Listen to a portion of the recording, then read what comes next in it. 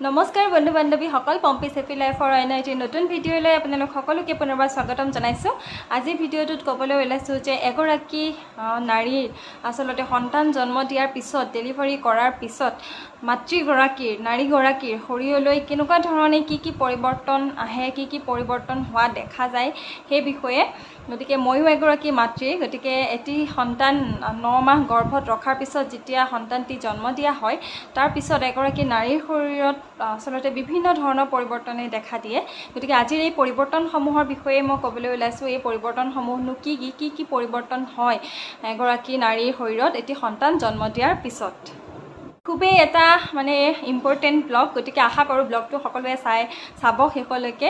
আৰু মোৰ চেনেলটো লাইক কমেণ্ট শ্বেয়াৰ লগতে ছাবস্ক্ৰাইব কৰি দিব। গতিকে ভিডিঅ'টোলৈ আগবাঢ়োঁ। এটি আচলতে সন্তান জন্ম দিয়াৰ পিছত মাতৃগৰাকীৰ প্ৰথম সমস্যাটো এগৰাকী নাৰীৰ প্ৰথম সমস্যাটোৱে হৈছে যে ৰক্তচাপ যিটো আমি ব্লিডিং বুলি কওঁ। লাগে চিজাৰিঙেই হওক বা নৰ্মেলেই হওক দুইটা প্ৰচেছতে এগৰাকী নাৰীৰ সেই ব্লিডিং হোৱা দেখা যায়। আৰু এই ব্লিডিং প্ৰায় এক মাহ পৰ্যন্ত বা কিছুমানৰ কম বা কিছুমানৰ ক্ষেত্ৰত আৰু বেছি দিনো লাগিব পাৰে। গতিকে এক মাহলৈকে এগৰাকী নাৰীয়ে ডেলিভাৰী কৰাৰ পিছত এইটো সমস্যাৰ সন্মুখীন হ'বই লাগিব। প্ৰত্যেকগৰাকী নাৰীয়ে লাগে চি ছেকশ্যন ডেলিভাৰীয়ে কৰক নহ'লে নৰ্মেল ডেলিভাৰীয়ে কৰক। আৰু তাৰ পিছৰ পৰিৱৰ্তনটো হৈছে যে ব্ৰেষ্টৰ ক্ষেত্ৰত। এগৰাকী নাৰী যেতিয়া সন্তান জন্ম দিয়ে তাৰ পিছৰ মেইন প্ৰক্ৰিয়াটোৱেই হৈছে যে সন্তানটিক ব্ৰেষ্ট ফিডিং কৰোৱাটো। গতিকে এই ক্ষেত্ৰত আচলতে ব্ৰেষ্টটোৰ ক্ষেত্ৰত কেতিয়াবা প্ৰথম অৱস্থাত তেনেকুৱা হয় যে ব্ৰেষ্টত কিছুমান বিষ অনুভৱ কৰিব পাৰে কেতিয়াবা কিছুমানে মোৰ ক্ষেত্ৰত সেইটো হৈছিলে।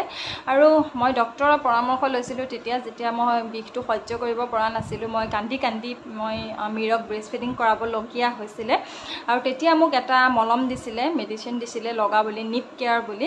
আপোনালোকে চালে সেইটো দেখিয়ে পাব। যোনে যোনে এই প্ৰব্লেমটো আচলতে পাইছে নিপ কেয়াৰ মলমটো বহুত বেছি ভাল হয়।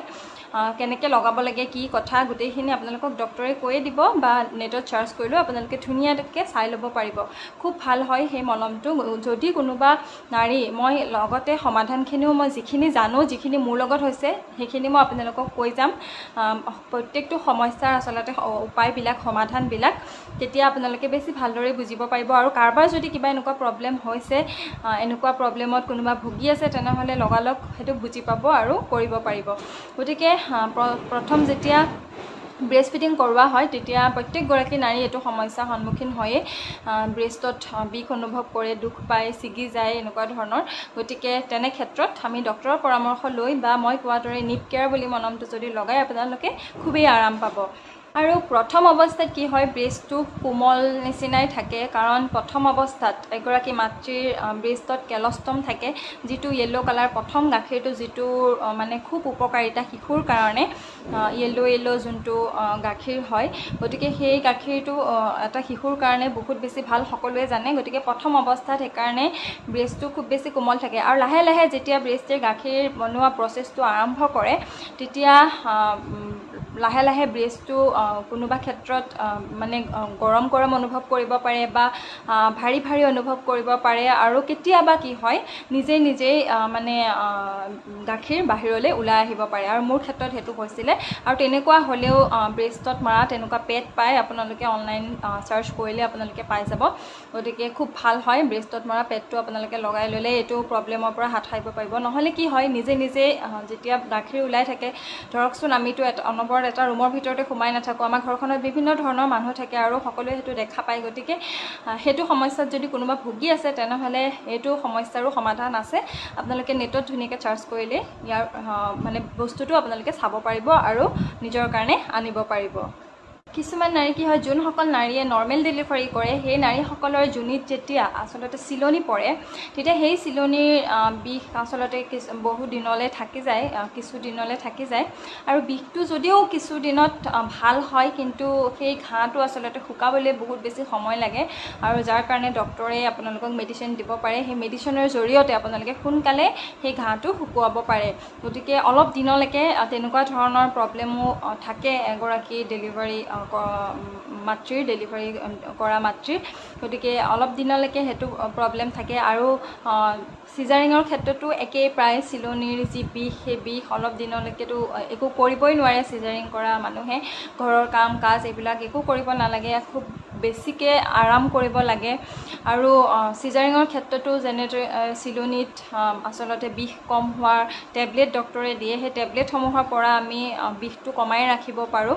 আৰু তেনে ক্ষেত্ৰত আচলতে চিজাৰিং কৰা মহিলা এগৰাকীৰ ক্ষেত্ৰত যিমান আৰাম কৰে সিমান ভাল বুলি সকলোৱে জানেই সকলোৱে কয়ে। গতিকে চিজাৰিং কৰা মহিলা এগৰাকীৰ ক্ষেত্ৰত আচলতে বেছি মানে সেইটো কাৰণে বেছি প্ৰব্লেম হয় কাৰণ তেওঁলোকে পটককৈ বহিব নোৱাৰে উঠিব নোৱাৰে। নৰ্মেল মানুহ এগৰাকী বহুত সোনকালে ভাল হৈ যায় এইসমূহ সমস্যা। কিন্তু চিজাৰিঙৰ ক্ষেত্ৰত শৰীৰটোক মানে আগৰ নিচিনা সুস্থ কৰিবলৈ অলপ সময়ৰ প্ৰয়োজন হয়। আৰু আমাৰ অসমীয়া সমাজত এটা আচলতে নিয়ম বুলিয়ে ক'ব লাগিব। এটা নিয়ম আছে যে এমাহ হোৱালৈকে আমি শিশুটোক বাহিৰত তেনেকৈ নিব সেইটো বৈজ্ঞানিক ভিত্তিত যদি আমি চাওঁ তাৰ কাৰণ বেলেগ। কিন্তু আমাৰ অসমীয়া সমাজত সেইটো নিয়ম নিয়মৰ নিচিনাই হয়। এমাহ যেতিয়া মাহেকীয়া পাতা হয় তাৰ পিছতহে শিশুটোক বাহিৰত ক'ৰবাত এনেকৈ ফুৰাবলৈ বা ক'ৰবাত ঘূৰাবলৈ তেনেকৈ নিয়া হয়। কিন্তু তাৰ আগলৈকে তেনেকুৱা মানে নিয়া নহয় ক'তো বাহিৰত শিশুটোক গতিকে সেই ত্ৰিছ দিন চল্লিছ দিন সময় আচলতে পূৰা ফাইদা উঠাব লাগে আৰু নিজৰ শৰীৰটোক পূৰা ৰেষ্ট দিব লাগে শিশুটোৰ ভালকৈ কেয়াৰ ল'ব লাগে। কাৰণ এইখিনি একদম মানে বহুত ভাল সময় আচলতে প্ৰথম যি এমাহ নিজৰ শৰীৰটোক ভালদৰে সুস্থ কৰিবলৈ। গতিকে এই ত্ৰিছ চল্লিছ দিন সময়ৰ আপোনালোকে যদি এইটো নিয়ম আছে তেন্তে খুবেই ভাল কথা। এই ত্ৰিছ চল্লিছ দিন যিটো সময় আচলতে সেই সময়টো পূৰা ফাইদা উঠাব লাগে আৰু যিমান পাৰে সিমান ৰেষ্ট কৰিব লাগে। তাৰপিছতে আহ, সন্তান জন্ম দিয়া এগৰাকী নাৰীৰ আৰু বহুত তেনেকুৱা কিছুমান প্ৰব্লেম থাকে শৰীৰটোতো প্ৰব্লেম থাকে তাৰোপৰি চুলি সৰা এটা সমস্যা যিটো মোৰতো অৱস্থা বেয়া হৈ গৈছিলে। মই এইটোৰ ওপৰত ভালদৰে ভিডিঅ' বনাম আপোনালোকলৈ। চুলি সৰা সমস্যাটো বহুত বেছি হয় মানে ডেলিভাৰী কৰাৰ পিছত এটা সন্তান জন্ম দিয়াৰ পিছত নিজৰ চুলিকোচা দেখিলে মানে বেয়া লাগি যায়। বহুত চুলি সৰে বহুত চুলি সৰে। কিন্তু তাক লৈ চিন্তা কৰিবলগীয়া কোনো কথা নাই। যেনেদৰে চুলি সৰে কিছুমান হৰমনেল কাৰণৰ কাৰণে সেইটো হয়। আৰু লাহে লাহে সময়ত আচলতে চুলি আপোনাৰ যি আগৰ চুলি সেয়া চুলি আপুনি নিশ্চয় ঘূৰাই পাব। গতিকে এইটোক লৈ ইমান চিন্তা কৰিবলগীয়া নাথাকে। খালি নিজৰ কেয়াৰখিনি যিখিনি ল'ব লাগে স্কিনৰ প্ৰতি হওক চুলিৰ প্ৰতি হওক সেইখিনি ভালদৰে লৈ যাওক। আৰু আপোনাৰ আগৰ চুলিখিনি আপুনি নিশ্চয় আগৰ নিচিনাকৈ আকৌ ঘূৰাই পাব। আৰু এটা আমি দেখি থকা পৰিৱৰ্তনেই হৈছে যে এটা সন্তান জন্ম দিয়াৰ পিছত এটি সন্তান জন্ম দিয়াৰ পিছত মাতৃগৰাকী নাৰীগৰাকী খুব বেছি ক্ষীণোৱা দেখা যায়। কিছুমান এনেকুৱা হয় যে কিছুমান খুব বেছি শকত হয় আৰু কিছুমান খুব বেছি ক্ষীণাই যায়। আৰু শকতটো প্ৰথম অৱস্থাতেই হোৱা দেখা যায় আৰু লাহে লাহে কিন্তু এগৰাকী নাৰী এগৰাকী মাতৃ অলপ ক্ষীণাবলৈ আৰম্ভ কৰে। বহুত কাৰণ থাকিব পাৰে ক্ষীণোৱাৰ নিজৰ খোৱা বোৱাখিনি তাত মেইনটেইন কৰে বা নিজৰ শিশুটোৱে আচলতে ৰাতি টোপনি ক্ষতি হয় ন এগৰাকী মাতৃৰ ভালদৰে শুবলৈ নাপায়। শিশুটোৰ লগত ভালকৈ ৰেষ্ট ল'বলৈ নাপায়। গতিকে বহুত কাৰণ থাকে তেনেকুৱা কাৰণত শিশুটোক ব্ৰেষ্ট ফিডিং কৰোৱা হয়। গতিকে ব্ৰেষ্ট ফিডিং কৰালে এগৰাকী মাতৃৰ ক্ষীণোৱাটো স্বাভাৱিক। আৰু যোনসকল শকত হয় যোনসকল ডেলিভাৰী কৰাৰ পিছত মানে চৰ্বি বাঢ়ি যায় শকত হৈ যায় সেইসকল মহিলাৰ কাৰণে এটা টিপছ যে আপোনালোকে যিমান পাৰে সিমান শিশুটোক ব্ৰেষ্ট ফিডিং কৰাওক। ব্ৰেষ্ট ফিডিং কৰা আচলতে যিটো প্ৰচেছ হয় সেই প্ৰচেছটো কৰি থাকিলে আপোনাৰ যি চৰ্বি বঢ়াৰ সমস্যা শকত হোৱাৰ সমস্যা সেই সমস্যাটোৰ পৰা আপুনি হাত সাৰি থাকিব পাৰিব আৰু আপোনাৰ ক্ষীণাবলৈ সুবিধা হ'ব। গতিকে ক্ষীণোৱা সেইবিলাকেই কাৰণ প্ৰথম নমাহ বা দহ মাহ এনেকুৱা সময়ছোৱাত আচলতে মাতৃগৰাকীক ক্ষীণোৱা বহুত বেছি দেখা যায়। সেইবিলাকেই কাৰণ ষ্ট্ৰেছ বহুত চিন্তাত থাকে শিশুটোৰ কাৰণে বহুত চিন্তাত থাকে। কিছুমান শিশুটোৰ বিভিন্ন সময়ত বেমাৰ কিবা কিবি হৈ থাকে মোৰ তেনেকুৱা হয়। মীৰৰ লগত কিবা এই বেমাৰ হ'ল এই টোপনি ক্ষতি হ'ল এনেকুৱা বহুত কিছুমান কাৰণ থাকে। যাৰ কাৰণে ভালদৰে টোপনি নাহে বা বিষেই অনুভৱ হ'ল চিজাৰিং কৰা জেগাত তেনেকুৱা কিছুমান কাৰণ। গতিকে এগৰাকী মহিলা শকত হোৱা বা ক্ষীণোৱা সেইটো অস্বাভাৱিক একেবাৰে। গতিকে তাক লৈ চিন্তা কৰিবলগীয়া নাথাকে। আপোনালোকে নিজৰ শৰীৰটো যদি ভালকৈ খোৱা লোৱা কৰে তেনেহ'লে এগৰাকী ক্ষীণ মানুহ শকত হ'ব পাৰিব।